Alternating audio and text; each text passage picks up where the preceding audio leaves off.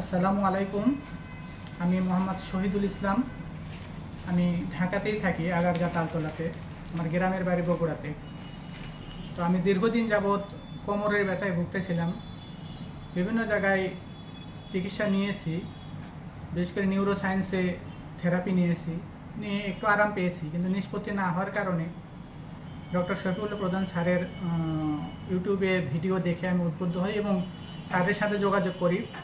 Sir আমাকে সতেরো দিনের থেরাপি নেওয়ার কথা বলে। তো স্যারের পরামর্শ মতো আমি সতেরো দিনের থেরাপির জন্য ভর্তি হয়ে যাই। এবং এখানে ফিজিওথেরাপিস্ট যারা আছেন, তারা বিভিন্ন রকমের থেরাপির মাধ্যমে, দৈনিক তিনবার করে আমাদের থেরাপি দিত।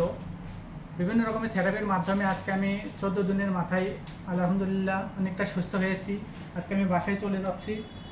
আমার মতো যারা এরকম সমস্যায় ভুগছেন, বিশেষ করে কোমরের ব্যথা, অসহ্য রকমের যন্ত্রণায় ভুগছেন তারা শফিউল্লাহ প্রধান স্যারের ডিপিআরসি হাসপাতাল শ্যামলীতে যোগাযোগ করতে পারেন।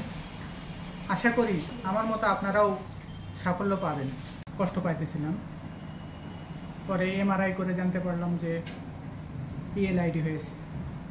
তো পিএলআইডির ব্যাপারে আমি প্রথমে নিউরো সায়েন্সে থেরাপি নিয়েছিলাম। নিয়ে ওখানে বেশ আরাম পেয়েছি কিন্তু নিষ্পত্তি হয় নাই। হুম হুম, হুম।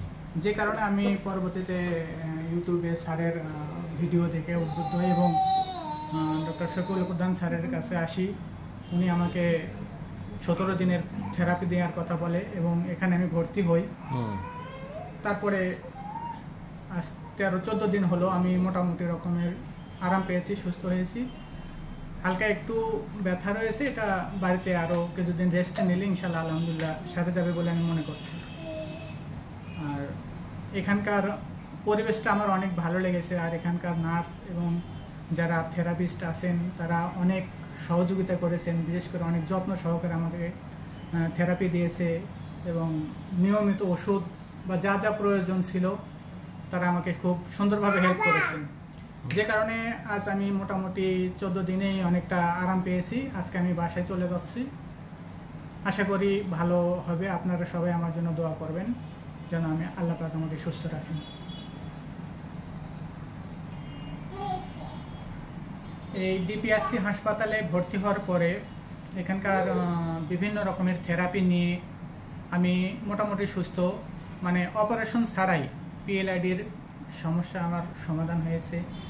তো আমার মতো যারা এরকম সমস্যায় ভুগছেন, দীর্ঘদিন যাবৎ কোমরের ব্যথা বা বিভিন্ন ব্যথাজনিত কারণে যারা কষ্ট পাচ্ছেন, অসহ্য রকমের যন্ত্রণায় ভুগছেন, তারা অবশ্যই ডক্টর শফিউল্লাহ প্রধান স্যারের ডিপিআরসি হাসপাতালে যোগাযোগ করবেন এবং আপনাদের সমস্যার কথা ওনার কাছে বলবেন। আশা করি আমার মতো আপনারাও সুস্থ হয়ে যাবেন বা সাফল্য পাবেন।